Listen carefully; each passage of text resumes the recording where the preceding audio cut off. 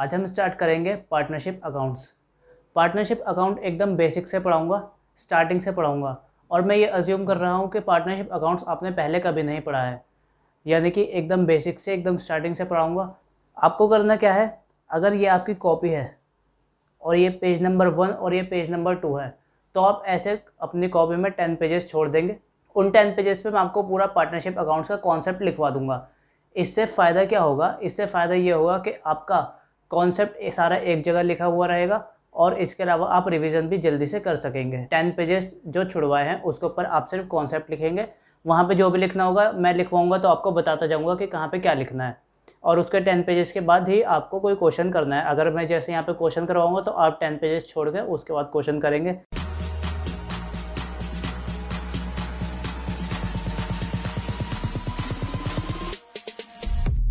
तो ये chapter outline आप जो स्टार्टिंग में टेन पेजेस छोड़वाए थे, वहीं लिख लेना। सबसे पहले हम पढ़ेंगे dissolution of partnership firm dissolution of partnership firm आज हमारा यही लेक्चर रहने वाला है। इस लेक्चर के अंदर हम डिजोल्यूशन पूरा फिनिश कर लेंगे। उसके बाद है insolvency of partner and applicability of Garner versus Murray rule insolvency of partner है और इसके अलावा गार्नर वर्सेस मुरे रूल उसके बाद पीस मील है उसके बाद अमलगेमेशन ऑफ़ पार्टनरशिप फर्म उसके बाद कन्वर्जन कर लेंगे एक, उसके बाद acquisition of business and continuing same set of books ये एक अलग कॉन्सेप्ट है ये भी आपको बताऊँगा साथ में। बस यही छः टॉपिक हैं। बस यही छः टॉपिक हैं जो हमें इस चैप्टर के अंदर करने हैं। चैप्टर बहुत ज़्यादा ईजी है। अगर आपको ये चैप्टर पहले कभी हार्ड लगता था तो मैं पूरी कोशिश करूँगा कि अब ये चैप्टर आपको हार्ड ना लगे। तो आज की हमारी क्लास रहने वाली है डिजोल्यूशन के ऊपर। Dissolution of partnership form partnership form आपको पता है क्या होती है? एक से ज़्यादा लोग मिलकर जब एक बिज़नेस चलाते हैं, उसको पार्टनरशिप फॉर्म कहते हैं। डिजोल्यूशन ऑफ़ पार्टनरशिप फॉर्म मतलब बिज़नेस बंद होना। मतलब ये दो पार्टनर हैं। ये आपको दिख रहे हैं पार्टनर कितने खुश हैं? इनकी खुशी इस फ़ोटो को देखकर ही पता चल रहा है कि ये लोग कितने खुश हैं। एक का नाम है राम और एक का नाम है श्याम। दो पार्टनर हैं, दोनों मिलकर बिज़नेस चला रहे हैं। इन दोनों ने मिलकर बिज़नेस चलाया। और बिज़नेस के अंदर बहुत ही ज़्यादा पैसा कमाया। ये देखिए, बना देता हूँ मैं यहाँ पे। बोरा भर गया, पैसा कमाते कमाते। लेकिन वक्त हमेशा एक जैसा नहीं रहता। इन्होंने बहुत बोरा भर के पैसा कमाया, लेकिन अब इनका ये जो बोरा है, ये खाली होने ही वाला है और ये हो गया। मतलब अच्छा खासा बिज़नेस चलते चलते इनको अचानक से पैसे की कमी पड़ने लगी, यानी कि प्रॉफिट इनको कम आने लगा और इनके बिज़नेस में बहुत ज़्यादा टेंशन क्रिएट हो गई। ये देखिए, ये कैसे सर पकड़ के बैठा है। एक समय ऐसा था कि ये कितने खुश थे। आज ये ऐसे सर पकड़ के बैठा है और ये एक ही बात सोच रहा है कि अब क्या होगा। अब जो होगा ना, वही हमारा आज का टॉपिक है dissolution of partnership firms dissolution मतलब बिज़नेस का कोई भी बिज़नेस के अंदर कोई भी कारण हो सकता है कि जिसकी वजह से हमको बिज़नेस बंद करना पड़ा। इसका मतलब डिजोल्यूशन का मतलब पार्टनरशिप फर्म है और उसका बिज़नेस क्लोज हो रहा है बिज़नेस बंद हो रहा है। अरे, ये स्टाइल मार के कैसे बैठ गए आप लोग? सर हमको डिजोल्यूशन आ गया। हमको पता चल गया कि डिजोल्यूशन क्यों होता है, इसलिए सर स्टाइल मार के बैठे हैं। अरे, रुको रुको। अभी तो तुमको सिर्फ़ मैंने एक एग्ज़ाम्पल दिया है। ये वही बहुत पुराना एग्ज़ाम्पल है। हर कोई देता है पार्टनरशिप फर्म है प्रॉफिट नहीं आ रहा तो बिज़नेस बंद कर रहे हैं। बहुत पुराना एग्जांपल है और हर कोई ये देता है, मैंने भी यही दिया है क्योंकि सबसे ईजी एग्जांपल ये होता है, आसानी से समझ में आ जाता है कि प्रॉफिट हो नहीं रहा तो बिज़नेस चलाने का फ़ायदा क्या? इसलिए बिज़नेस बंद कर रहे हैं। सबसे ईजी एग्ज़ाम्पल मैंने आपको दे दिया। लेकिन सिर्फ़ एक रीज़न नहीं है पार्टनरशिप फर्म को डिजोल्व होने का। पार्टनरशिप फर्म को डिजोल्व होने के कई रीजंस हैं। वो कौन से रीज़न है? मैं यहाँ पे आपको लिखवा देता हूँ। कई रीज़न हो सकते हैं। सबसे पहले पार्टनर्स एग्री टू डिजोल्व ये थ्योरी है पेपर में नहीं आनी, बस मैं आपको कॉन्सेप्ट के लिए बता रहा हूँ कि आपको पता चल जाए कि पार्टनरशिप फर्म क्यों डिजोल्व होती है। तो सबसे पहले लिख देता हूँ partner agree to dissolve partner जितने भी पार्टनर हैं, उन्होंने आपस में सहमति कर ली कि अब हमको बिज़नेस बंद कर देना चाहिए तो बिज़नेस बंद हो जाएगा। उसके बाद all partner except one became insolvent insolvent का जो भी मत इंसॉल्वेंसी जो है, वो हमारी आगे आएगी, वो मैं आपको आगे पढ़ाऊँगा। उसके बाद है इलीगल बिज़नेस उसके बाद ये पॉइंट नंबर फोर है, फिर फाइव है। पार्टनर्स एग्री टू डिजोल्व ये आपको पढ़ के ही पता चल रहा है।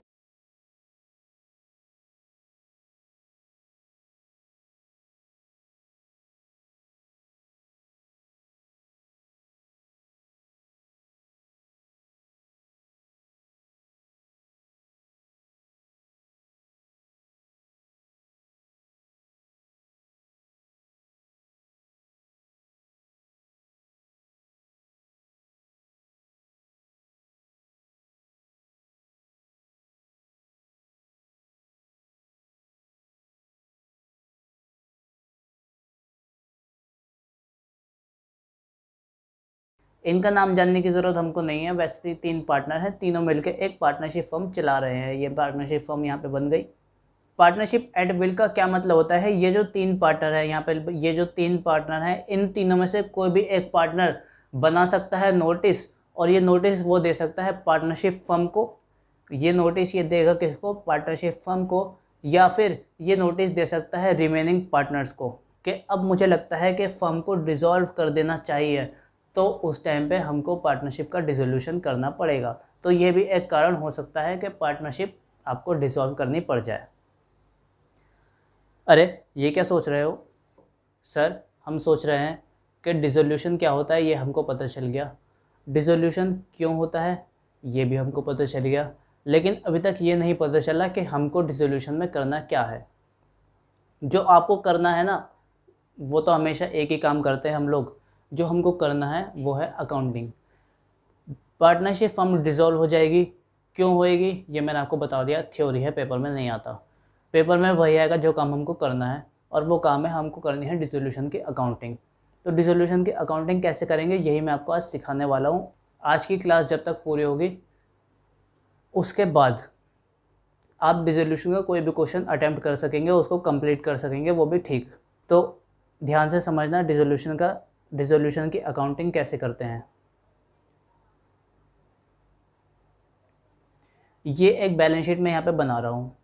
बैलेंस शीट में एक साइड एसेट होते हैं, आपको पता है, और दूसरी साइड लाइब्रेटी होती हैं। ये लाइब्रेटीज़ मैंने यहाँ पे लिख दी। अब डिसोल्यूशन हो गया। बिज़नेस बंद। अब कोई बिज़नेस नहीं होगा। तो ये बैलेंस शीट जो ओपन हुई पड़ी है, ये क्या कर रही है? इसको क्लोज करो। हमको तो अकाउंटिंग ही करनी है ना, हम तो बुक्स ऑफ़ अकाउंट के अंदर ही देखेंगे हम क्या कर सकते हैं। बिज़नेस बंद हो गया बैलेंस शीट बुक्स के अंदर खुली पड़ी है, उसको आपको बंद करना पड़ेगा, यानी कि बुक्स ऑफ़ अकाउंट्स को क्लोज करना पड़ेगा। बैलेंस शीट एकमात्र ऐसी चीज़ है जिसके अंदर सारे अकाउंट्स का इफ़ेक्ट सारे profit and loss account reserve सब कुछ आ जाता है। यानी कि अगर आप सिर्फ़ बैलेंस शीट को क्लोज कर देंगे तो आपकी बुक्स ऑफ़ अकाउंट क्लोज हो जाएँगी। तो ये बैलेंस शीट को हमको करना है क्लोज अब सवाल ये होता है कि क्लोज करेंगे कैसे? क्लोज करेंगे कैसे? ये जानने से पहले आपसे मैं पूछूँ कि ये बैलेंस शीट के अंदर ये जो एसेट्स और लाइब्रेटी है, ये कहाँ से आए होंगे? बैलेंस शीट के अंदर ये एसेट और लाइब्रेटी आए होंगे ट्रायल बैलेंस से। और ट्रायल बैलेंस में कहाँ से आए होंगे? ट्रायल बैलेंस में ऑफकोर्स लेजर से। लेजर का जो बैलेंस बचता है वो ट्रायल बैलेंस में जाता है। तो यहाँ पर मैं लिख देता हूँ लेजर से। और लेजर के अंदर ऑफकोर्स जनरल से आए होंगे। जर्नल एंट्री जो हम करते हैं, वो लेजर में के अंदर पोस्ट कर देते हैं। तो यहाँ पे लिख देता हूँ जर्नल अब हमको बैलेंस शीट क्लोज कर दिया बैलेंस शीट कोई अकाउंट नहीं है। बैलेंस शीट कोई अकाउंट नहीं है। इसके अंदर कभी भी आपने लिखा नहीं देखा होगा। यहाँ पे इस साइड पर टू और इस साइड पर बाय, ऐसा आपने कुछ लिखा नहीं देखा होगा बैलेंस शीट के अंदर, क्योंकि वो अकाउंट नहीं होता। बैलेंस शीट एक पोजिशन स्टेटमेंट होती है। बैलेंस शीट क्या होती है? Position statement. यानी कि अगर हमको बैलेंस शीट को क्लोज करना है तो वही जगह जहाँ से बैलेंस शीट के अंदर चीज़ें आती हैं, उसी जगह जाओ और वहीं से उन चीज़ों को क्लोज कर दो। जैसे कि लिए लेजर है, कुछ एसेट्स का लेजर हो सकता है तो उस लेजर के अंदर जाके जर्नल एंट्री कर दो एसेट खत्म, वहाँ पे ख़त्म तो ट्रायल बैलेंस में नहीं जाएगा ट्रायल बैलेंस में नहीं गया तो बैलेंस शीट में नहीं जाएगा, और इस लेजर को हम क्लोज कैसे करेंगे? उस लेजर को, इस लेजर को हम क्लोज ऑफकोर्स करेंगे जर्नल एंट्री से। अब सर लेजर को क्लोज करेंगे, ठीक बात है हमें समझ में आती है। तो लेजर बनाने स्टार्ट करते हैं। ये देखो, कई सारे बुक्स के अंदर लेजर हो सकते हैं। ये मैं यहाँ पर लेजर बनाने स्टार्ट करता हूँ। एक दो, तीन, चार और ये पाँच और ये छः। ये मैंने यहाँ पे छः लेजर अकाउंट्स बना दिया।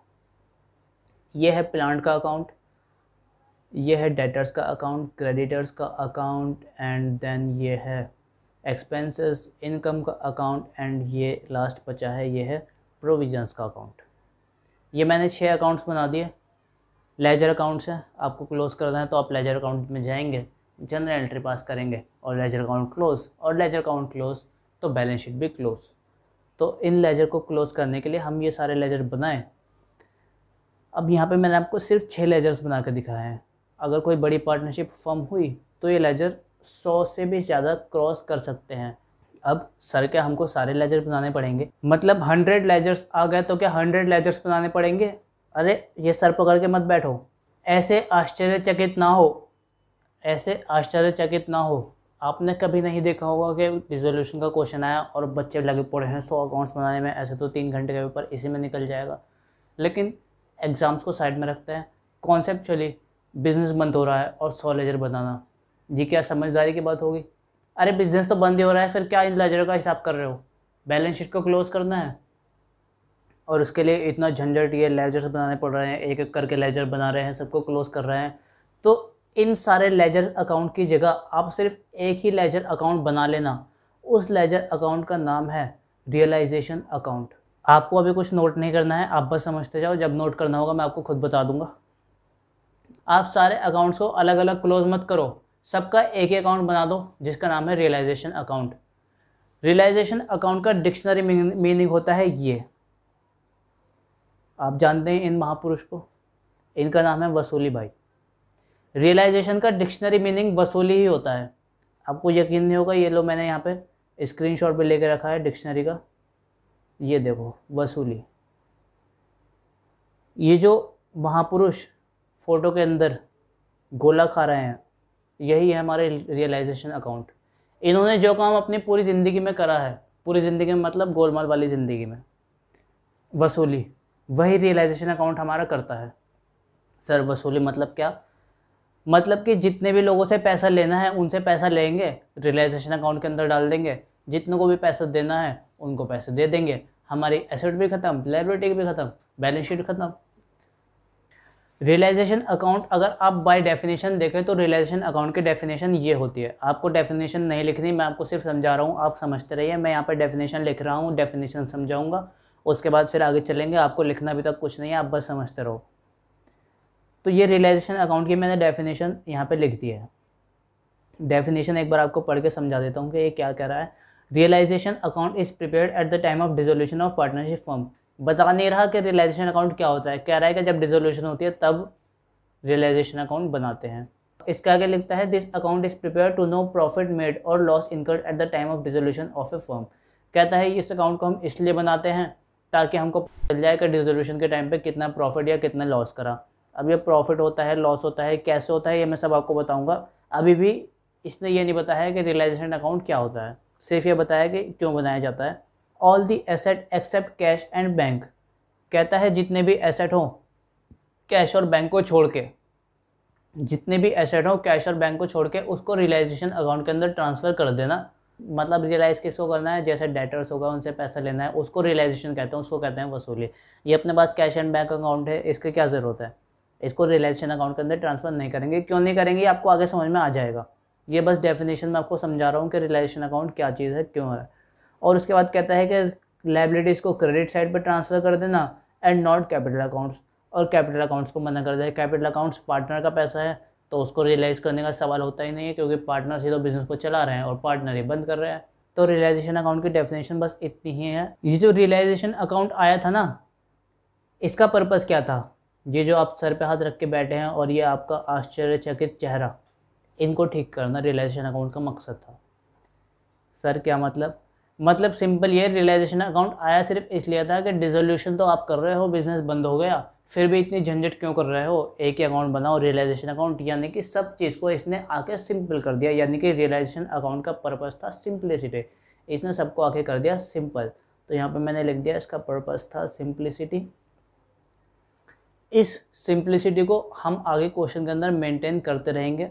इस सिंप्लिसिटी को मेंटेन करने के लिए ही ये इस डेफिनेशन के अंदर कैश अकाउंट और कैपिटल अकाउंट्स को इसने ट्रांसफ़र करने से मना करा है। सर मना तो इसने कर दिया, लेकिन अब हम इसका करेंगे क्या? सारे एसेट और सारी लाइबिलिटी तो रियलाइजेशन अकाउंट के अंदर ट्रांसफ़र कर देंगे क्लोज हो जाएगी, लेकिन फिर इस कैपिटल अकाउंट को और कैश और बैंक अकाउंट को हम क्या करेंगे? हम इसको क्लोज कैसे करेंगे? अरे भाई, जब रियलाइजेशन अकाउंट नहीं आया था, तब क्या कर रहे थे? तब तो आप लेजर बना रहे थे ना। पहले तो सौ, डेढ़ सौ लेजर बनाने पड़ते, अब ये दो लेजर बना लेना रियलाइजेशन अकाउंट के साथ। तो इस बैलेंस शीट में जो एसेट्स और लाइबिलिटी हैं, उसको रियलाइजेशन अकाउंट के अंदर ट्रांसफ़र कर देना। एसेट को ट्रांसफ़र करेंगे कैसे? एसेट का होता है डेबिट बैलेंस तो डेबिट बैलेंस को क्लोज करना है तो उसको कर देंगे क्रेडिट और डेबिट क्या हो जाएगा? रियलाइजेशन अकाउंट यानी कि एंट्री हो जाएगी realisation account debit to assets account यहाँ पे मैं लिख देता हूँ। अभी भी आपको नोट करने की ज़रूरत नहीं है, मैं आपको सब कुछ लिखवाने वाला हूँ। और लाइब्रेरीज को ट्रांसफ़र करेंगे तो लाइब्रेरीज की क्या एंट्री होगी? ट्रांसफ़र करने की लाइब्रेरीज का क्रेडिट बैलेंस होता है। इसको हमको क्लोज करना है तो इसको कर देंगे डेबिट यानी कि उल्टा, और ट्रांसफ़र कर रहे हैं क्योंकि रियलाइजेशन अकाउंट में तो रियलाइजेशन अकाउंट को क्रेडिट कर देंगे। तो ये एंट्री भी मैं यहाँ पर लिख देता हूँ। और एक बात ध्यान रखना कैश और कैपिटल अकाउंट बनाना मत भूलना। तो रियलाइजेशन अकाउंट थ्योरेटिकली क्या होता है? मैंने आपको बता दिया। इसके अंदर क्या करना है?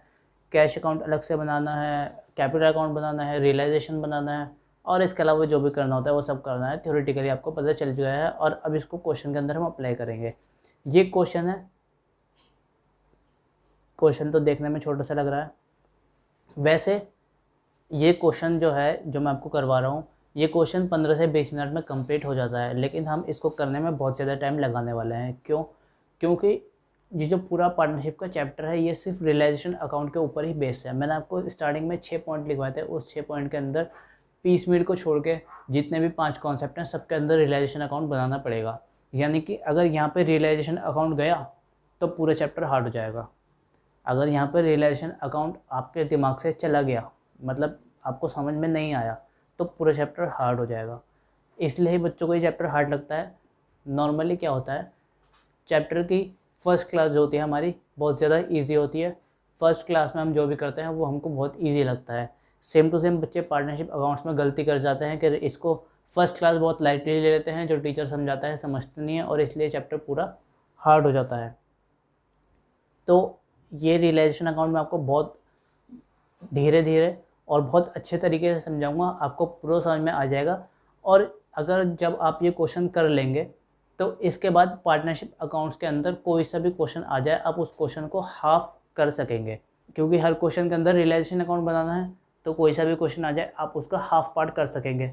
चाहे इसके अंदर इंसॉल्वेंसी आ जाए अमालगेमेशन आ जाए कन्वर्सन सेल आ जाए, या फिर जो आपको वो बड़ा सा कॉन्सेप्ट बताया था सेम सेट ऑफ़ बुक्स वाला, वो आ जाए। आप कोई से भी क्वेश्चन उठाओ, आधा क्वेश्चन कर पाएँगे। यानी कि अगर ये क्लास देख के आप पेपर में चले जाते हो और दस नंबर का क्वेश्चन आ गया तो आपको मिल जाएँगे उसमें से पाँच मार्क्स और बीस नंबर का क्वेश्चन आ गया तो आपको मिल जाएँगे उसमें से दस मार्क्स और हाँ पीस मिल इसकी एक्सेप्शन है पीस मिल के अंदर रिलेशन अकाउंट नहीं बनाना होता। यानी कि सिर्फ़ इस क्वेश्चन के ऊपर आपका 90 परसेंट चैप्टर बेस्ड है, सिर्फ़ रियलाइजेशन अकाउंट के ऊपर। तो इसको आप ध्यान से समझना, इस क्वेश्चन को करने में बहुत समय लेंगे, अच्छे से करेंगे। एक एक एडजस्टमेंट बहुत अच्छे से बताऊँगा। तो इस क्वेश्चन को आप करते हैं स्टार्ट क्वेश्चन सबसे पहले पढ़ लेते हैं क्वेश्चन क्या है? P Q and R R partner sharing profit and losses in the ratio two is to two is to one अगर आपको ऐसे क्वेश्चन पढ़ने में दिक्कत होती है तो आप वीडियो को पॉज करें। क्वेश्चन को पढ़ें। मैं आपको साथ साथ पढ़वा रहा हूँ। ऐसे ऐसे पढ़ते साथ साथ पढ़वा रहा हूँ और उसके बाद ही मैं क्वेश्चन करवाऊँगा। तो P Q R R partner है, sharing profit and losses in the ratio two is to two is to one. Their balance sheet as on thirty first March two zero X one. इसको सबसे पहले काट के आप to thousand twenty कर लीजिए क्योंकि पेपर में करंट ईयर का क्वेश्चन आएगा। इसको अभी से आदत डाल लेते हैं। तो इसको हमने कर दिया thirty first March two thousand and twenty. ये जो क्वेश्चन है, ये I C I study material का टेस्ट और नॉलेज का क्वेश्चन नंबर वन है। तो आप अपन आपको अगर ये क्वेश्चन अपनी बुक में चाहिए तो आप आई सी स्टडी मटेरियल के टेस्ट और नॉलेज का क्वेश्चन नंबर वन ओपन कर सकते हैं। तो अब इस क्वेश्चन में चलते हैं आगे। नीचे एक बैलेंस शीट दी है, और यही वो बैलेंस शीट है जो हमको क्लोज करनी है। और इसको क्लोज कैसे करते हैं? रियलाइजेशन अकाउंट बना के। तो सबसे पहले यहाँ पे एक रियलाइजेशन अकाउंट का फॉर्मेट में यहाँ पे बना देता हूँ। ये देखो, ये मैंने रियलाइजेशन अकाउंट जल्दी से बना दिया। क्वेश्चन के अंदर आके देखें तो उसने realisation account partners capital account और कैश अकाउंट तीनों अकाउंट बनाने को बोला है, जो मैंने आपको अभी पीछे बताया है कि कौन कौन से अकाउंट बनाने पड़ेंगे। इसके अलावा कभी कोई एक्स्ट्रा अकाउंट आएगा तो उसी टाइम हम क्वेश्चन में कर लेंगे।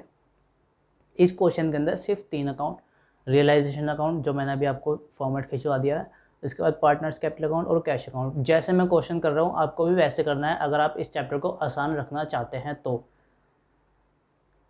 और सर, आप कौन सा ऐसा स्पेशल तरीका लगा रहे हो? स्पेशल तरीका कुछ नहीं है, आपको तीन अकाउंट एक साथ बनाने हैं। रियलाइजेशन अकाउंट मैंने बना दिया पार्टनर्स कैपिटल अकाउंट जल्दी से बना देता हूँ। इसका लेजर मैंने बताया, ये तीन पार्टनर्स हैं पी क्यू आर तो यहाँ पे लिख दिया मैंने पी क्यू आर और यहाँ पे भी पी क्यू आर और कैश अकाउंट बनाना है तो कैश अकाउंट भी जल्दी से बना देता हूँ। कैश अकाउंट यहाँ पे बना दिया मैंने। ये एसेट है, इसके अंदर प्लांट एंड मशीनरी सबसे ऊपर ही बैलेंस दे रखा है वन लैख एट थाउज़ेंड अब प्लांट एंड मशीनरी का बैलेंस है वन लैख एट थाउज़ेंड तो अब जो मैं इतनी देर से लेजर लेजर चिल्ला रहा था ना कि लेजर बनाते, ये बनाते, वो बनाते, जो इतनी लंबी लंबी मैं आपको सुना रहा था, ये मैं आपको अब करके दिखाता हूँ कि ये क्या चीज़ मैं कह रहा था आपसे। ये प्लांट एंड मशीनरी का लेजर है। यहाँ पर मैंने लिख दिया प्लांट एंड मशीनरी मैं एक मन घड़त एग्ज़ाम्पल ले रहा हूँ। मन घड़त एग्ज़ाम्पल मतलब अपने मन से कोई भी अमाउंट भर रहा हूँ और ये मैं प्लांट एंड मशीनरी का अकाउंट जो बना रहा हूँ, ये thirty first March two thousand nineteen जो ईयर एंड है, उसका बना रहा हूँ। मतलब फ़र्स्ट अप्रैल 2019 से ये शुरू शुरू हो रहा है और थर्टी फ़र्स्ट मार्च 2020 पे ख़त्म हो रहा है। मैंने अज्यूम कर लिया कि इसका ओपनिंग बैलेंस था पचास हज़ार और पूरे साल में हमने इसको ख़रीदा अस्सी हज़ार। तो मैंने अज्यूम कर लिया कि जब ईयर स्टार्ट हुआ था तो इसका बैलेंस जो था वो फिफ्टी थाउज़ेंड था और ईयर के स्टार्टिंग में इन्होंने अस्सी हज़ार की प्लांट एंड मशीनरी और ख़रीद ली। इसके अंदर तो कोई दिक्कत नहीं है, मैंने अज्यूम कर लिया कि पचास हज़ार का स्टार्टिंग में था और अस्सी हज़ार की और प्लांट एंड मशीनरी इन्होंने पूरे साल में ख़रीदी। और ये मैं कब की बात कर रहा हूँ? फ़र्स्ट अप्रैल 2019 की। पूरे साल इसके ऊपर डेप्रिसिएशन लग गया बारह हज़ार का और इसका क्लोजिंग बैलेंस जो था वो एक लाख आठ हज़ार वन लाख एट थाउज़ेंड ये किस डेट का बैलेंस है? Thirty first March two thousand twenty का। ये वो बैलेंस है जो आपको बैलेंस शीट के अंदर दिख रहा है। ठीक है, यहाँ तक तो समझ में आ गया।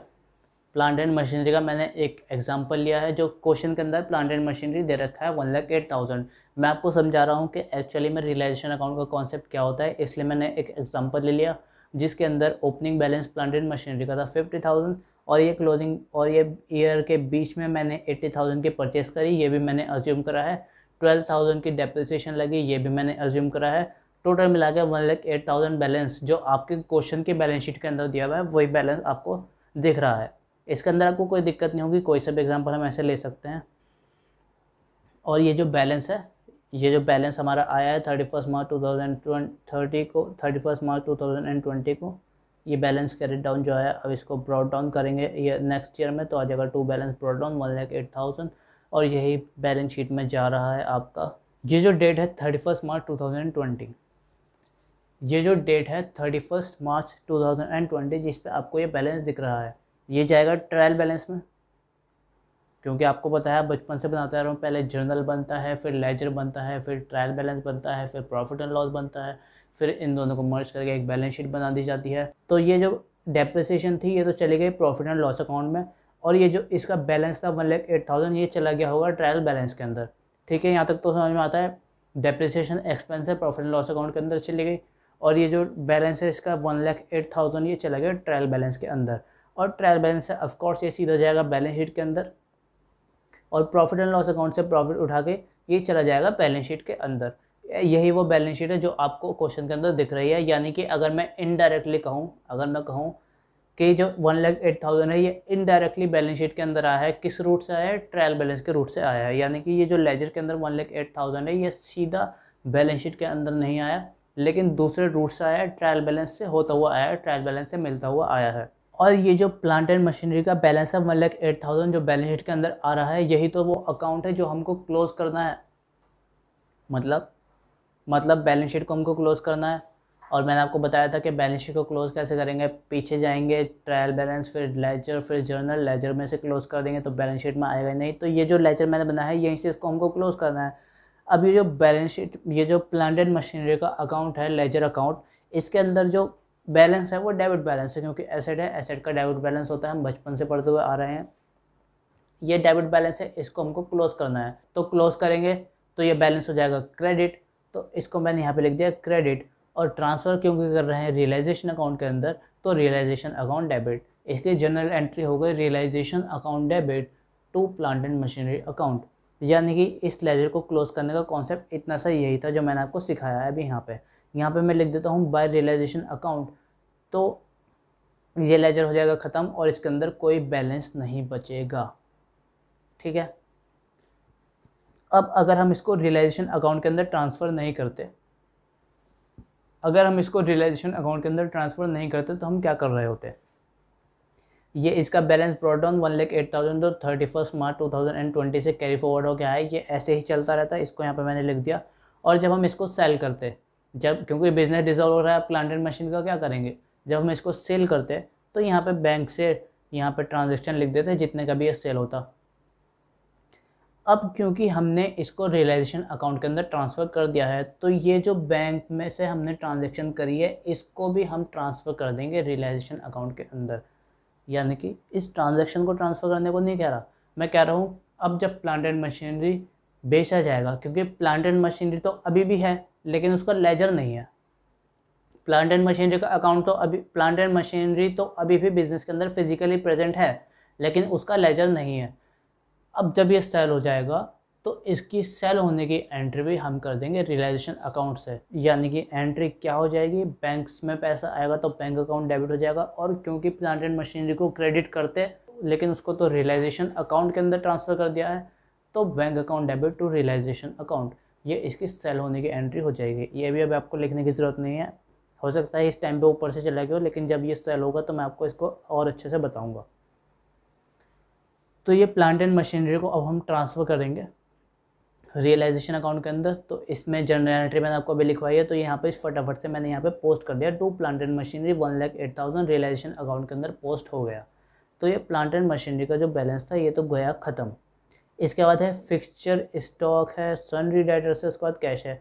जैसे ये प्लांट एंड मशीनरी का करा है, वैसे ही सारे एसेट का कॉन्सेप्ट है। प्लांट एंड मशीनरी आपको सही से समझ में आया होगा तो इसका आपको पता है कि बाकी फिक्चर का भी ऐसे होगा। स्टॉक है, स्टॉक का भी ऐसे होगा, उसके बाद सनरी डेटर्स लिखता है सनरी डेटर्स भी ऐसे होंगे, और फिर कैश है कैश का तो हम अलग से लेजर बनाए रहे हैं। तो इन सबको भी मैं जल्दी से जाकर रिलेशन अकाउंट के अंदर ट्रांसफ़र कर देता हूँ, जैसे प्लांट एंड मशीनरी को करा था अब इन सबका लेजर बना के नहीं दिखा रहा, क्योंकि रियलाइजेशन अकाउंट आ चुका है। रियलाइजेशन अकाउंट का पर्पज़ था कि हम सब सिंपल काम करें तो अब हम सिंपल ही करेंगे। प्लांट एंड मशीनरी में आपको कॉम्प्लेक्स के दिखा दिया है कि कितना कॉम्प्लेक्स हो सकता था, अगर ये एक से ज़्यादा लेजर होते। तो रियलाइजेशन अकाउंट आ गया है तो जल्दी से इसको भी यहाँ पर ट्रांसफ़र कर देता हूँ। ये अमाउंट में लिख देता हूँ फिक्सर ट्वेंटी फोर थाउज़ेंड ये अमाउंट में बैलेंस शीट में जो क्वेश्चन में दिया है, वहीं से देख के लिख रहा हूँ। सर हो सकता है इसकी मार्केट वैल्यू अलग हो। अरे, इसकी मार्केट वैल्यू अलग हो तो क्या हो गया? आप एक बात बताओ, आपकी बैलेंस शीट के अंदर बुक वैल्यू है या मार्केट वैल्यू है? सर बैलेंस शीट के अंदर तो बुक वैल्यू है। और आपको क्लोज किसको करना है? बैलेंस शीट को। तो कभी क्वेश्चन में अगर कह दे कि ये इसकी मार्केट वैल्यू है तो आप कंफ्यूज नहीं होना। जब रिलाइजेशन अकाउंट के अंदर ट्रांसफ़र करोगे तो ये ध्यान रखना कि रिलाइजेशन अकाउंट हम बना क्यों रहे हैं। हम बना इसलिए रहे हैं क्योंकि बैलेंस शीट को हमको क्लोज करना है। तो जो बैलेंस शीट में अमाउंट है, वही हम इसके अंदर लिखेंगे। तो मैं जल्दी से यहाँ से बैलेंस शीट के अंदर से देख कर लिख रहा हूँ। Fixture stock and then sundry debtors इसके बाद ये कैश है सिक्सटी थाउज़ेंड कैश को जैसा भी मैंने प्लांट एंड मशीनरी का अकाउंट बना के दिखाया था, वैसे ही अकाउंट बनाना है। तो यहाँ पे लिख दिया मैंने टू बैलेंस ब्रॉड डाउन तो ये आप देखें तो ये एसेट साइड हो गई कंप्लीट अब चलता है लाइबिलिटी साइड के ऊपर. लाइबिलिटी साइड के अंदर तीन पार्टनर हैं पी क्यू आर इनकी कैपिटल दे रखी है, उसके बाद रिज़र्व फंड है, उसके बाद क्रेडिटर है। पहले मैं क्या करता हूँ, जैसे प्लांट एंड मशीनरी एसेट था, वैसे क्रेडिटर लाइबिलिटी है। पहले क्रेडिटर को ट्रांसफ़र कर देता हूँ। क्रेडिटर ट्रांसफ़र हो गए। अब ये पार्टनर्स कैपिटल अकाउंट जो भी बैलेंसिंग जो भी इनका बैलेंस चल रहा है बुक में ये इनके कैपिटल अकाउंट के अंदर लिख देता हूँ। वन लाख ट्वेंटी थाउज़ेंड आ गया ये। फोर्टी एट थाउज़ेंड एंड ये twenty four thousand P Q R इनका कैपिटल अकाउंट का भी बैलेंस हो गया। ये कैपिटल अकाउंट का बैलेंस भी हो गया और ये क्रेडिटर्स भी हो चुके हैं। बस अब बचा है रिज़र्व फंड रिज़र्व फंड का नाम देखते ही ये कौन रोता हुआ सामने आ गया? ये है पी सर ये क्यों रो रहा है? इससे मैं पूछने ही जा रहा था कि ये क्यों रो रहा है, लेकिन फिर मुझे दिख गया क्यों ये भी देखो, ये क्यों रो रहा है? ये कौन है? ये है क्यू इससे पहले क्यों से पूछता है ये कि, कि ये क्यों रो रहा है? मेरे को आर दिख गया रोता हुआ। ये कौन है? ये आर है। ये तीनों पार्टनर बहुत बुरी तरीके से रो रहे हैं और इनके रोने का सिर्फ़ एक ही कारण है reserve funds sir reserve fund से इनके रोने का क्या चक्कर है? ये जो रिज़र्व फंड का अमाउंट है सिक्सटी थाउज़ेंड ये पार्टनर बताते हैं कि एक वक्त था कि ऐसा हुआ था। पार्टनर्स बताते हैं कि एक वक्त था जब हमने एक लाख रुपए का प्रॉफिट कमाया था। एक लाख का प्रॉफिट कमाया था तो ठीक है, कमाया होगा। उसमें से हम सिर्फ़ अस्सी हज़ार ही घर लेके गए थे। बीस हज़ार हमने बिज़नेस में छोड़ दिया। ये कौन कह रहा है? ये जो तीन रोते हुए पार्टनर है, जो रो रहे हैं, ये कह रहे हैं कि बीस हज़ार हमने बिज़नेस में छोड़ दिया। बिज़नेस में क्यों छोड़ा? आगे कभी इमरजेंसी हो, कभी काम आ जाए, इसलिए बिज़नेस के अंदर छोड़ दिया। ये बीस हज़ार बिज़नेस के अंदर छोड़ा। और एक बार ऐसा हुआ था कि ऐसे ही कुछ ज़्यादा प्रॉफिट हुआ था तो हमने दस हज़ार छोड़ दिया था। और एक बार तो ऐसा हुआ कि हमने बिज़नेस के अंदर पूरे तीस हज़ार रुपये बिज़नेस के अंदर छोड़ दिया क्यों छोड़े? ताकि अगर फ्यूचर में कभी बिज़नेस में दिक्कत हो जाए पार्टनरशिप जो इनकी चल रही है, उसमें दिक्कत हो जाए तो ये इनके पैसे अब जो प्रॉफिट में से बचे हुए ये काम आ सकें।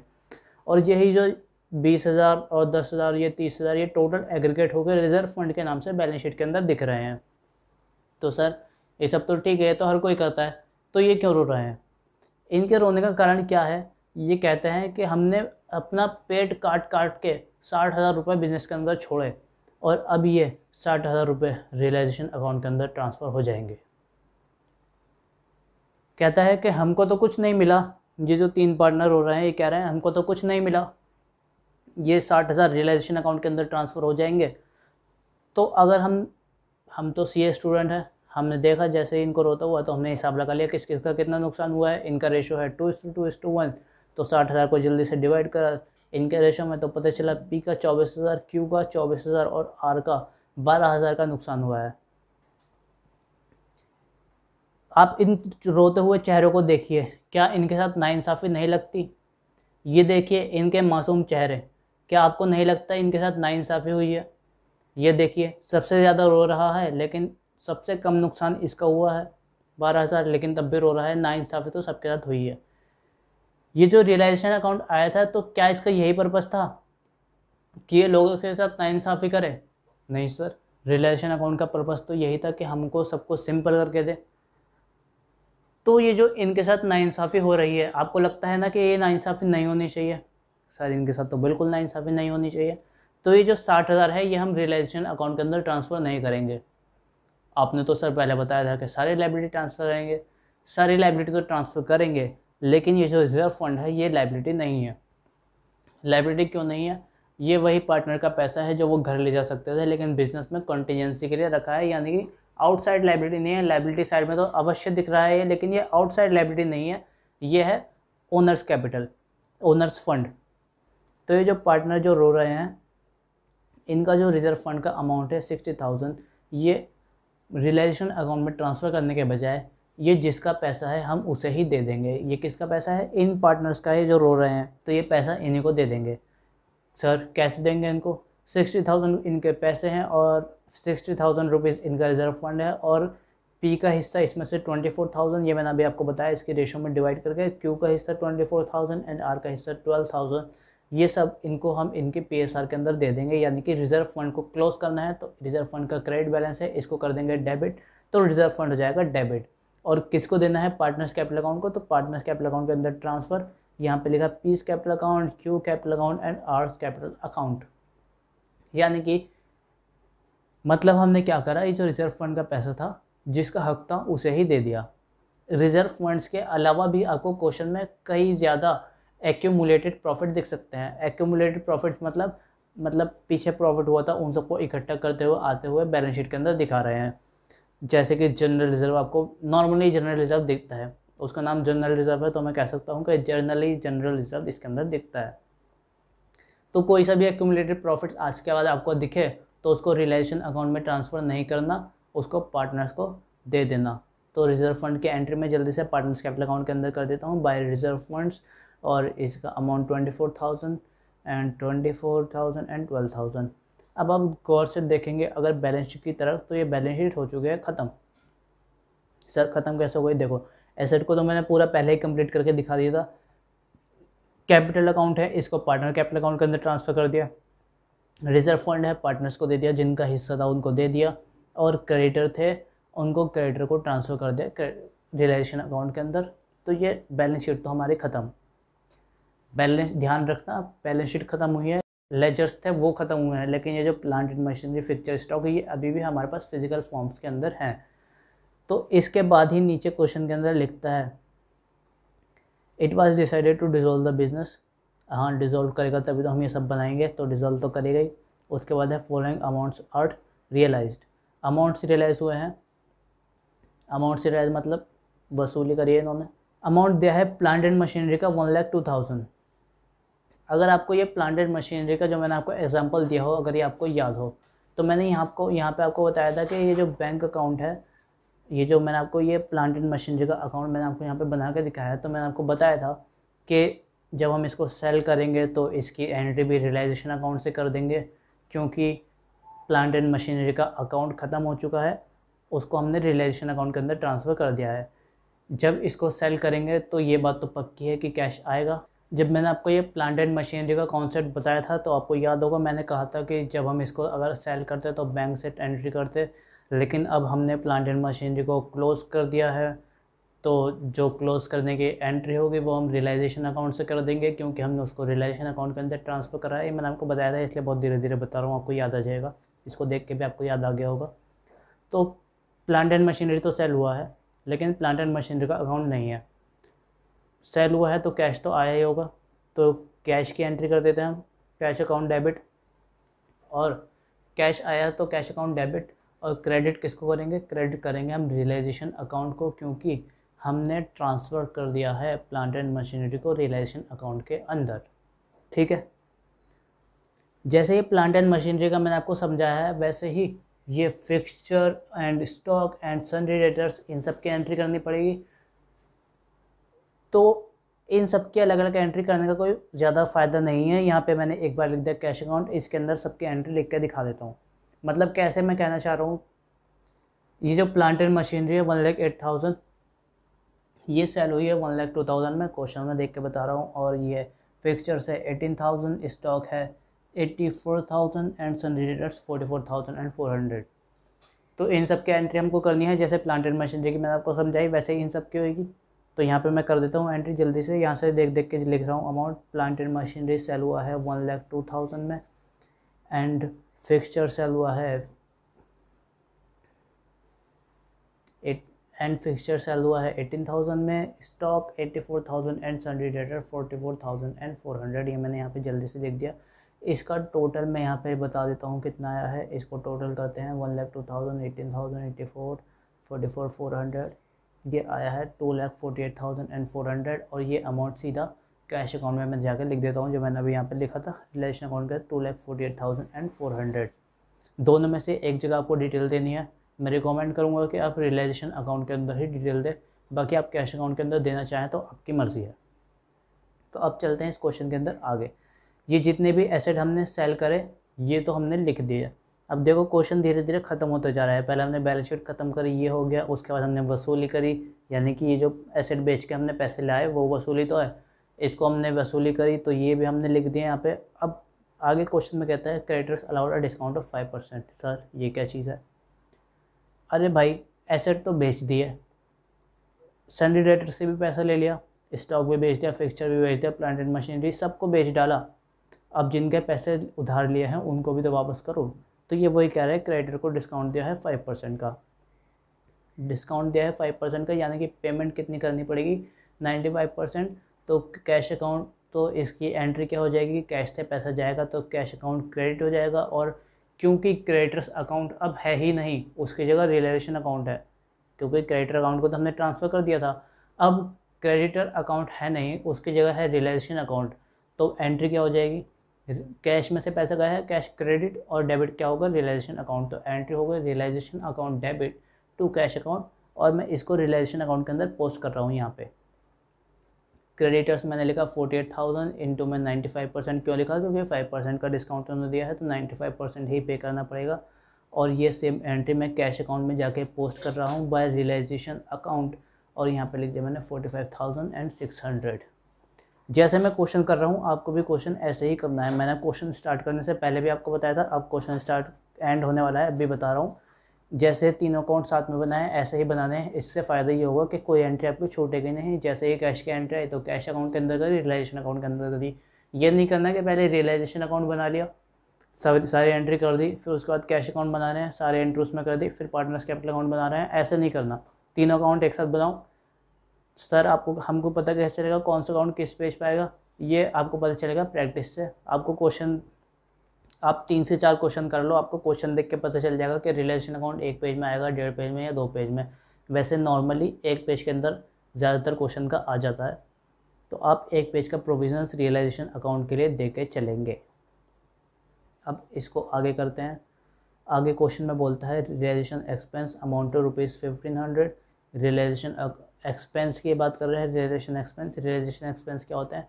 जितना भी हमने ये एसेट्स बेचे हैं, ये क्रेडिट क्रेडिटर्स को पैसा पे करा है स्टॉक्स एंड डिलेटर इन सबको बेचने में जो भी खर्च हुआ वो रियलाइजेशन एक्सपेंसेस है। रियलाइजेशन एक्सपेंस जो है, वो उसने सारे एक्सपेंस इकट्ठे करके दिए हैं। जैसे ये प्लांट एंड मशीनरी इसको ट्रांसफ़र करोगा तो इसके कागजात में पैसे लगे होंगे। इसके पेपर्स के अंदर जो भी पैसा लगे, वो पैसा ये सनडी डेटर से पैसा वसूलने के लिए forty four thousand four hundred इनसे लिए हैं। इन्होंने आसानी से नहीं दिए होंगे तो इनसे वसूलने के जो भी खर्चे हुए और इसके अलावा जो भी सबको इसने एक्यूमुलेट करके बोलता है रियलाइजेशन एक्सपेंसेस तो रियलाइजेशन एक्सपेंसेस मैं यहाँ पे लिख देता हूँ, कितने हैं? फिफ्टीन हंड्रेड और same to same entry cash account के अंदर। तो यहाँ पे मैंने लिखा by realisation account fifteen hundred then उसके बाद क्वेश्चन के अंदर वापस चलते हैं, कहता है there was an unrecorded asset of six thousand कहता है, एक अनरिकॉर्डेड एसेट था छः हज़ार का which was taken over by Q at forty eight hundred छः हज़ार का एक अनरिकॉर्डेड एसेट था, और वो अनरिकॉर्डेड एसेट क्यू ने अड़तालीस सौ रुपये में फोर थाउज़ेंड एट हंड्रेड में क्यू ने ले लिया। पहले तो अनरिकॉर्डेड एसेट मैं आपको बता देता हूँ कि क्या कॉन्सेप्ट है अनरिकॉर्डेड एसेट का। अनरिकॉर्डेड एसेट में बहुत सारे बच्चे कंफ्यूज रहते हैं, ध्यान से सुन लेना। बहुत ईजी है, कुछ ज़्यादा कन्फ्यूज़न वाला इसके अंदर है नहीं। अनरिकॉर्डेड एसेट जैसे इस क्वेश्चन के अंदर सिक्स थाउज़ेंड के हैं। एसेट का बैलेंस होता है डेबिट और उसका एक होता है corresponding credit double entry system हम फॉलो करते हैं, बचपन से सीखते आ रहे हैं। एसेट का डेबिट बैलेंस होता है और उसका एक कॉरस्पॉन्डिंग क्रेडिट भी होता है। तो नॉर्मली हम क्या करते हैं? अनरिकॉर्डेड एसेट हमको दिखा तो हम कहते हैं रिकॉर्ड नहीं हुआ था, कोई बात नहीं, अब इसको रिकॉर्ड कर लो, है ना? यही कहते हैं कि रिकॉर्ड नहीं हुआ था? कोई बात नहीं, अब हम इसको रिकॉर्ड कर लेंगे। ठीक है रिकॉर्ड कर लेंगे। ये हम करते हैं नॉर्मली और ये जो हम रिकॉर्ड करने की बात कर रहे हैं अनरिकॉर्डेड एसेट को रिकॉर्ड नहीं हुआ था, अब रिकॉर्ड करेंगे। आप इसको नॉर्मल भाषा में बोलते हुए आ रहे हैं आज तक रेक्टिफिकेशन ऑफ़ एरर्स आपने इसका नाम बहुत ज़्यादा सुना होगा। आप रेक्टिफिकेशन ऑफ़ एरर्स करते हुए आ रहे हैं। लेकिन जब आप डिजोल्यूशन का केस करेंगे। अनरिकॉर्डेड एसेट यहाँ पे भी आ सकता है। एसेट रिकॉर्ड होने से बच गया तो बच गया। अब वो कहीं पे भी आ सकता है, चाहे उसको क्या पता है एसेट को डिजोल्यूशन है कि क्या है। वो तो रिकॉर्ड नहीं हुआ था, अब पता चल गया। तो सेम यहाँ पे भी होगा एसेट को डेबिट कर देंगे, अगर रिकॉर्ड करेंगे तो और इसका कॉरस्पॉन्डिंग क्रेडिट करेंगे। लेकिन जैसे ही आप कॉरस्पॉन्डिंग क्रेडिट ढूँढने जाओगे तो डिजोल्यूशन में आपको इसका कॉरस्पॉन्डिंग क्रेडिट नहीं मिलेगा। है सर ऐसा कैसे? कॉरस्पॉन्डिंग क्रेडिट क्यों नहीं मिलेगा? आश्चर्यचकित ना हो। क्यों नहीं मिलेगा? इसलिए नहीं मिलेगा क्योंकि एसेट तो रिकॉर्ड नहीं हुआ, इसलिए बच गया। लेकिन ये जो कॉरस्पॉन्डिंग क्रेडिट है, ये तो रिकॉर्ड करा ही होगा। और क्योंकि ये क्रेडिट करा होगा तो ये रिलेशन अकाउंट के अंदर जाके ख़त्म हो गया होगा। यानी कि जैसे ही आप गए एसेट तो आपको डेबिट होना एसेट तो इसलिए बच गया क्योंकि डेबिट नहीं होता, लेकिन कॉरस्पॉन्डिंग क्रेडिट इसका ख़त्म हो चुका है रिलेशन अकाउंट बचा है बस। तो अब क्या करेंगे? सर, पहले कॉरस्पॉन्डिंग क्रेडिट को क्रेडिट कर दे। अब क्योंकि उसके अलावा उसके बजाय रियलाइजेशन अकाउंट हमने बनाया है तो हम रियलाइजेशन अकाउंट को क्रेडिट कर देंगे। तो एंट्री करके मैं आपको दिखा देता हूँ क्या एंट्री कर दे। Unrecorded asset account debit to realisation account जैसे ही ये एंट्री हुई, जैसे ही आपने ये एंट्री करी unrecorded asset account debit to realisation account अगले ही पल आपको इसको वापस से रिलेशन अकाउंट के अंदर ट्रांसफ़र करना पड़ेगा, क्योंकि हम कोई लेजर मेंटेन कर ही नहीं रहे बिज़नेस बंद हो चुका है, उसके सब सारे अकाउंट को क्लोज करके हमने रियलाइजेशन अकाउंट बना दिया है। तो अपने अनरिकॉर्डेड एसेट को डेबिट करा तो हमने कर दिया। अगले ही पल इसको आपको ट्रांसफ़र करना पड़ेगा रियलाइजेशन अकाउंट के अंदर। यानी कि आप एक पल सीधा काम और अगले ही पल उसका उल्टा काम। आप देखें तो रियलाइजेशन अकाउंट से रियलाइजेशन अकाउंट कैंसिल और ये अनरिकॉर्डेड एसेट से अनरिकॉर्डेड एसेट कैंसिल यानी आपने कुछ करा ही नहीं। रियलाइजेशन अकाउंट बनाया, लेकिन उसका जो पर्पज़ था सिंप्लिसिटी उसको आपने मेंटेन करा ही नहीं। आप तो फिर ये सब गड़बड़ करे जा रहे हो। सर, ये गड़बड़ थोड़ी है। हाँ मतलब आप अपने काम बढ़ाए जा रहे हो ना। आपने पहले अनरिकॉर्डेड एसेट को डेबिट करा, फिर उसको वापस से क्रेडिट कर दिया। इसमें हमने कुछ करा ही नहीं। एक पल हमने एक काम करा, अगले ही पल उसको उल्टा काम कर दिया। मतलब पल पल की कहानी जो यहाँ पे चल रही है, उसको ख़त्म कर देना। आप इसको रिकॉर्ड करना ही नहीं। क्योंकि जैसे ही रिकॉर्ड करोगे, वैसे उसको क्लोज करना पड़ जाएगा। इससे अच्छा है रिकॉर्ड करो ही नहीं। रियलाइजेशन अकाउंट का जो पर्पज़ था सिंपल करना सबको, वो यहाँ पे भी आपको दिख जाएगा। आप इसको रिकॉर्ड नहीं करेंगे। यानी कि अनरिकॉर्डेड एसेट को रिकॉर्ड नहीं करेंगे। बस यही एक पॉइंट है जहाँ से कन्फ्यूज़न शुरू होती है। सर अब तो सब समझ में आ गया। अब यहाँ से कन्फ्यूज़न कैसे? जो मैंने आपको मना करा है ना रिकॉर्ड करने के लिए, ये है रिकॉर्ड ध्यान से समझना, ये है रिकॉर्डिंग आपको अनरिकॉर्डेड एसेट को रिकॉर्ड नहीं करना। लेकिन जब आप इस एसेट इस एसेट को सेल करोगे रियलाइज़ करोगे, तब आपको इसकी एंट्री करनी है। यानी कि रिकॉर्डिंग की एंट्री नहीं करनी, लेकिन सेल की एंट्री करनी है। सर सेल की एंट्री क्यों करनी है? जब सेल करेंगे तो कैश तो आएगा। फिर उस कैश का कैसे हिसाब रखोगे आप? जैसे इस क्वेश्चन के अंदर क्यों लेके चला गया? हो सकता है हम इस रिसर्ट को कैश में बेच देते। तो उस कैश का आप कैसे हिसाब रखोगे? तो उसके लिए आपको सेल की एंट्री तो करनी पड़ेगी। सेल की एंट्री करेंगे क्या? कैश में पैसा आएगा तो कैश डेबिट और अनरिकॉर्डेड एसेट का तो अकाउंट है नहीं, हम एक अकाउंट बनाने हैं रियलाइजेशन अकाउंट तो रियलाइजेशन अकाउंट को क्रेडिट कर देंगे। लेकिन इस क्वेश्चन के अंदर आगे बोलता है कि ये जो अनरिकॉर्डेड एसेट था, इसको क्यों ने टेक ओवर कर लिया? यानी कि क्यों अपने घर ले गया? तो हम जो अड़तालीस सौ रुपये four four thousand eight hundred जो हम बाज़ार से खरीद, बाज़ार में बेचते हैं, वो हम पैसा क्यों से वसूल कर लेंगे? यानी कि रियलाइजेशन अकाउंट के अंदर जब हम एंट्री करेंगे तो कैश अकाउंट वहाँ पे नहीं लिखेंगे, हम वहाँ पे लिखेंगे क्यू कैपिटल अकाउंट, क्योंकि ये एसेट लेके गया है क्यू तो इसकी एंट्री क्या हो जाएगी?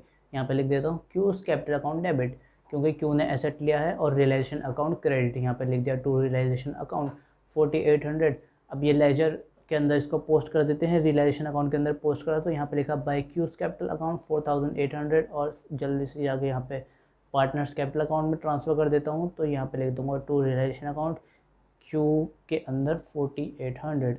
इसके बाद क्वेश्चन के अंदर एक आखिरी लाइन दिख रही है मेरे को, बोलता है, a bill four four thousand two hundred, एक बयालीस सौ रुपये, फोर थाउज़ेंड टू हंड्रेड का एक बिल है। वो कहता है सेल टैक्स के लिए ड्यू था, जो रिसीव हुआ है कोर्स ऑफ़ रियलाइजेशन में। अब ये अनरिकॉर्डेड लाइबिलिटी की तरह दिख रहा है। लेकिन इसने इसको अनरिकॉर्डेड लाइबिलिटी नहीं बोला। इसने इसका नाम साफ़ साफ़ लिख कर दिया है। तो हम इसको अनरिकॉर्डेड लाइबिलिटी नहीं लाइबिलिटी नहीं बोलेंगे, हम इसको सीधा सेल्स टैक्स बिल बोलेंगे। इसकी एंट्री क्या हो जाएगी? कैश में पे करेंगे तो कैश अकाउंट तो क्रेडिट हो जाएगा। और क्योंकि इसके अलावा कोई अकाउंट है नहीं तो रियलाइजेशन अकाउंट डेबिट एंट्री हो जाएगी realisation account debit to cash account तो रिलेशन अकाउंट के अंदर पोस्ट कर देता हूँ टू कैश अकाउंट ब्रैकेट में डिटेल्स देनी पड़ेगी तो मैंने लिख दिया सेल्स टैक्स बिल और कैश अकाउंट में जाकर पोस्ट करूँगा तो by realisation account four thousand and two hundred. अब आप देखें, ध्यान से तो ये क्वेश्चन हो गया है कंप्लीट आपको रियलाइजेशन अकाउंट पूरा समझ में आ गया होगा, लेकिन ये दिक्कत आपको आ रही होगी कि सर बैलेंस शीट तो क्लोज कर दी, लेकिन ये तीन नए अकाउंट क्यों खोल लिए? सर डिजोल्यूशन करनी थी बिज़नेस डिजोल्व करना था। आपने कहा बैलेंस शीट को क्लोज कर दो बुक्स ऑफ़ अकाउंट बंद तो बिज़नेस बंद। लेकिन आपने ये तीन नए अकाउंट खोल लिए। अब इन तीन नए अकाउंट को हम क्लोज करेंगे। और इसके क्लोज़र के साथ साथ ही हमारा बिज़नेस भी क्लोज हो जाएगा। रियलाइजेशन अकाउंट को क्लोज करना है, पहले इसका टोटल कर लेते हैं।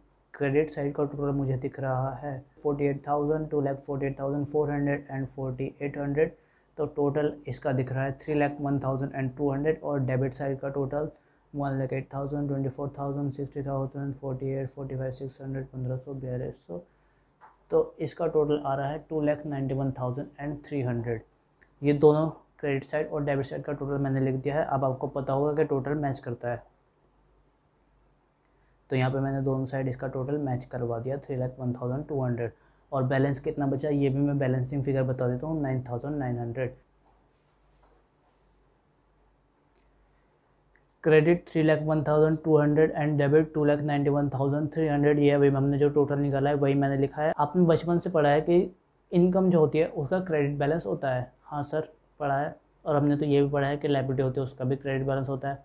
मैं रियलाइजेशन अकाउंट की बात कर रहा हूँ। रियलाइजेशन अकाउंट के अंदर आप सेल कर रहे हैं क्रेडिटर्स की पेमेंट कर रहे हैं डेटर से पैसे वसूल कर रहे हैं, यानी कि नॉमिनल अकाउंट है इनकम और एक्सपेंस की इसके अंदर बात हो रही है तो लाइबिलिटी का चक्कर यहाँ पे नहीं रहेगा। यानी कि जो credit three lakh one thousand two hundred जो इसका क्रेडिट साइड का टोटल है, ये हमारी इनकम है।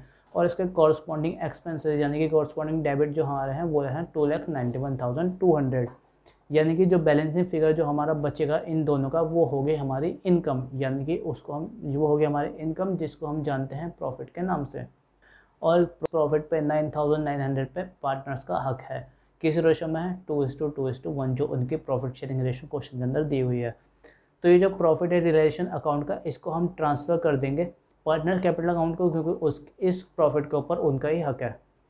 तो यहाँ पे मैं लिख देता हूँ P's capital account Q's capital account R capital account और ये मैं इसको two is to two is to one के अंदर डिवाइड करके यहाँ पे लिख देता हूँ। Three nine six zero three nine six zero and one nine eight zero अब ये प्रॉफिट की एंट्री जल्दी से जाके पार्टनर्स कैपिटल अकाउंट के अंदर ट्रांसफ़र करता हूँ। यहाँ पे लिखा मैंने by realisation account three nine six zero three nine six zero and one nine eight zero and repost कर दी। अब रियलाइजेशन अकाउंट हो गया क्लोज अब मुझे क्लोज करना है पार्टनर्स कैपिटल अकाउंट और कैश अकाउंट पहले पी का कैपिटल अकाउंट क्लोज करते हैं। इसके क्रेडिट साइड का टोटल आ रहा है one lakh twenty thousand twenty four thousand and three nine six zero one lakh forty seven thousand nine hundred and sixty एक लाख सैंतालीस हज़ार नौ सौ साठ इसका क्रेडिट साइड का टोटल है। और जब हम देखेंगे कि इसने आज तक क्या विड्रॉ करा है विड्रॉ कैसे पता चलेगा डेबिट साइड में? जैसे ही हम देखेंगे इसने क्या विड्रॉ करा है तो हमको पता चलेगा इसने कुछ विड्रॉ नहीं करा है तो इसका one lakh forty seven thousand nine hundred sixty पूरा हमको कैश में पे करना पड़ेगा। बचपन से पढ़ते हुए आ रहे हैं कि बिज़नेस अलग होता है और पार्टनर्स अलग होते हैं तो ये वही कॉन्सेप्ट आज आपको प्रैक्टिकली दिख रहा है कि बिज़नेस तो क्लोज हो रहा है तो बिज़नेस में जो पैसे हैं वो उसके ओनर्स को वापस करे जा रहे हैं। तो ये one lakh forty seven thousand nine hundred sixty जो कैश में हमारा बैलेंस होगा, उसमें से उसको पे कर देंगे। अब जैसे ही मैं क्यू का करता हूँ टोटल आता है इसका forty eight thousand twenty four thousand three nine six zero seventy five thousand nine hundred and sixty इसका टोटल आ रहा है। अब जैसे हम डेबिट साइड में जाकर देखेंगे तो हमको पता चलेगा कि इसने फोर्टी एट हंड्रेड का एक एसेट ले लिया था, यानी कि अब फोर्टी एट हंड्रेड ये हमसे वसूल कर चुका है बिज़नेस से वसूल कर चुका है। तो अब हम इसको फोर्टी एट हंड्रेड रुपीज़ कम देंगे क्योंकि उसका इसने पहले ही बेनिफिट ले लिया है। तो यहाँ पे मैं लिख देता हूँ माइनस करके seventy five thousand nine hundred sixty में से फोर्टी एट हंड्रेड माइनस करूँगा तो seven one one six zero इकहत्तर हज़ार एक सौ साठ इसका पैसा जो है हम इसको कैश में देना पड़ेगा। अब आर की बारी। ये जो आर है, इसका टोटल आ रहा है twenty four thousand twelve thousand one and eight zero सैंतीस हज़ार नौ सौ अस्सी thirty seven thousand nine hundred nine hundred and eighty इसका टोटल है। और हम जब डेबिट साइड में देखेंगे तो इसने कुछ भी विड्रॉ नहीं करा है तो इसको पूरा thirty seven thousand nine hundred and eighty हम इसको पूरा पे कर देंगे। अभी जो एंट्री हमने पार्टनर्स कैपिटल अकाउंट में, यहाँ पे मैंने लिखा है टू कैश अकाउंट इसको कैश अकाउंट के अंदर भी पोस्ट करना पड़ेगा। तो यहाँ से कैश अकाउंट के अंदर पोस्ट करके दिखा देता हूँ। बाय पीस कैपिटल अकाउंट यहाँ पे लिखा मैंने one lakh forty seven thousand nine hundred and sixty Q का कैपिटल अकाउंट इसके अंदर seventy one thousand one hundred and sixty और आर का कैपिटल अकाउंट आ जाएगा यहाँ पे thirty seven thousand nine hundred and eighty अब ये जो कैश अकाउंट को आप क्लोज करेंगे तो इसका डेबिट और क्रेडिट साइड का टोटल मैच करेगा। सर मैच क्यों करेगा? क्योंकि पार्टनर्स को पे कर दिया, जितने भी क्रेडिटर्स लाइबिलिटी जो भी पे करनी थी, वो सब पे कर दी अब बिज़नेस के अंदर किसी को कुछ पे नहीं करना है किसी से कुछ लेना नहीं है बिज़नेस हो गया क्लोज़ तो ये कैश अकाउंट के अंदर एक भी रुपया नहीं बचना चाहिए। अब इसका टोटल मैं करता हूँ तो देखते हैं दोनों का मैच करता है या नहीं। डेबिट साइड का टोटल आ रहा है three lakh eight thousand four hundred and credit side का भी आ रहा है three lakh eight thousand four hundred यानी कि इसका टोटल मैच कर रहा है। अगर क्वेश्चन के अंदर कैश अकाउंट का टोटल आपका मैच नहीं करे या फिर पार्टनर्स कैपिटल अकाउंट का टोटल मैच नहीं करे, इसका मतलब आपने क्वेश्चन में कोई गलती करी है, उस क्वेश्चन उस गलती को सुधारें तो ये आपका कैश अकाउंट डेफिनेटली मैच करेगा। मैच क्यों करेगा? क्योंकि इसका कॉन्सेप्ट है अकाउंटिंग इक्वेशन में जो हमने एलेवंथ क्लास के अंदर पढ़ा था, वो मैं आपको यहाँ पे नहीं पढ़ाने वाला हूँ। बस ये मैच करेगा, मैंने आपको बता दिया। तो अभी हमारा क्वेश्चन हो गया ख़त्म। इस क्वेश्चन के बाद मैंने जैसा आपको कहा था कि आप रियलाइजेशन अकाउंट पूरा समझ गए होंगे तो मैंने आपको बहुत अच्छे से समझाया है, आप समझ ही गए होंगे। पार्टनर्स कैपिटल अकाउंट और कैश अकाउंट ये सारे अकाउंट हमारे हो गए क्लोज इस कैपिटल अकाउंट को भी क्लोज कर देता हूँ। यहाँ पे मैं टोटल लिख दिया, ये पार्टनर कैपिटल अकाउंट भी हो गया क्लोज अब डिजोल्यूशन का हमारा कॉन्सेप्ट हो गया ख़त्म।